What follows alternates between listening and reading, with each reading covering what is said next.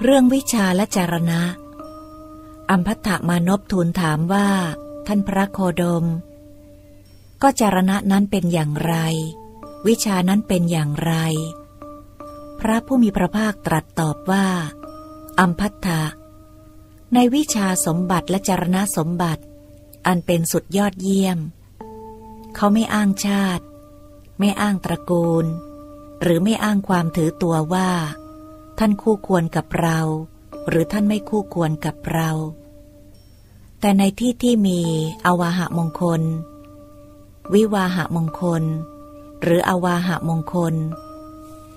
และวิวาหะมงคล เขาจึงอ้างชาติ อ้างตระกูล หรืออ้างความถือตัวว่า ท่านคู่ควรกับเรา หรือท่านไม่คู่ควรกับเรา อัมพัตตะ ชนที่ยึดติดเพราะอ้างชาติ ยึดติดเพราะอ้างตระกูล ยึดติดเพราะอ้างความถือตัว หรือยึดติดอยู่กับอาวาหะมงคล และวิวาหะมงคล ชื่อว่ายังอยู่ห่างไกลจากวิชาสมบัติ และจารณะสมบัติอันเป็นคุณยอดเยี่ยม อัมพัตตะการทำให้แจ้งวิชาสมบัติ และจารณะสมบัติอันเป็นคุณยอดเยี่ยม ย่อมมีได้ เพราะละการ ยึดติดเพราะอ้างชาติ การยึดติดเพราะอ้างตระกูล การยึดติดเพราะอ้างความถือตัว การยึดติดเพราะอ้างความถือตัว และการยึดติดอยู่กับอวาหะมงคล และวิวาหะมงคลแล้วเท่านั้นอัมพตะมานพทูลถามว่า ท่านพระโคดม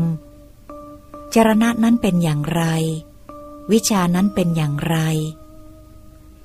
พระผู้มีพระภาคตรัสตอบว่าตถาคตอุบัติขึ้นมาในโลกนี้ เป็นพระอรหันตรัสรู้ตนเองโดยชอบ ภิกษุนั้นสงัดจากกามและอกุศลธรรมทั้งหลายแล้ว บรรลุปฐมฌานที่มีวิตกวิจารปิติและสุขอันเกิดจากวิเวกอยู่ ข้อนี้จัดเป็นจารณะอย่างหนึ่งของภิกษุนั้น ยังมีอีกอัมพัตถะเพราะวิตกวิจารสงบระงับไป ภิกษุบรรลุทุติยฌานมีความผ่องใสภายใน มีภาวะที่จิตเป็นหนึ่งผุดขึ้น ไม่มีวิตกไม่มีวิจารมีแต่ปีติและสุขอันเกิดจากสมาธิอยู่ ข้อนี้จัดเป็นจารณะอย่างหนึ่งของภิกษุนั้น ยังมีอีกอัมพัตถะเพราะปิติจางคลายไป ภิกษุมีอุเบกขา มีสติสัมปชัญญะ เสวยสุขด้วยนามกาย บรรลุตติยฌานที่พระอริยทั้งหลายสรรเสริญว่า ผู้มีอุเบกขามีสติ อยู่เป็นสุข ข้อนี้จัดเป็นจารณะอย่างหนึ่งของภิกษุนั้น ยังมีอีกอัมพัตตะ เพราะละสุขและทุกข์ได้ เพราะสมนัสและโทมนัสดับไปก่อนแล้ว ภิกษุบรรลุจตุทชาญ ที่ไม่มีทุกข์ไม่มีสุข มีสติบริสุทธิ์เพราะอุเบกขาอยู่ ข้อนี้จัดเป็นจารณะอย่างหนึ่งของภิกษุนั้น มื่อจิตเป็นสมาธิบริสุทธิ์ผุดพอง ไม่มีกิเลสเพียงดังเนิน ปราศจากความเศร้าหมอง อ่อน เหมาะแก่การใช้งาน ตั้งมั่นไม่หวั่นไหวอย่างนี้ ภิกษุนั้นน้อมจิตไปเพื่อยานทัศนะ ข้อนี้จัดเป็นวิชาอย่างหนึ่งของภิกษุนั้น รู้ชัดว่าชาติสิ้นแล้ว อยู่จบพรหมจรรย์แล้ว ทำกิจที่ควรทำเสร็จแล้ว ไม่มีกิจอื่นเพื่อความเป็นอย่างนี้อีกต่อไป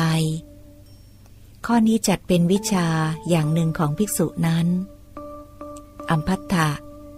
ที่แสดงมาทั้งหมดนี้จัดเป็นวิชา